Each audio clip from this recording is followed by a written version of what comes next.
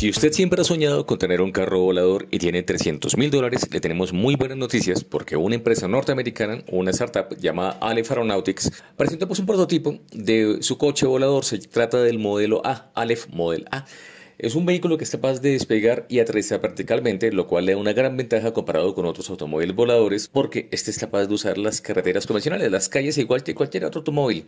El truco se basa es que en su carrocería está compuesta por malla y tiene ocho hélices que le permiten despegar verticalmente. Una vez arriba en el aire, esta carrocería gira 90 grados para que ellos puedan volar. También él se dio a conocer que este automóvil es eléctrico es capaz de andar con una sola carga 322 kilómetros si está pues, en carretera y si está volando es capaz de volar 160 kilómetros. Como mencionamos antes, su precio es de 300 mil dólares y está planeada su producción para 2025.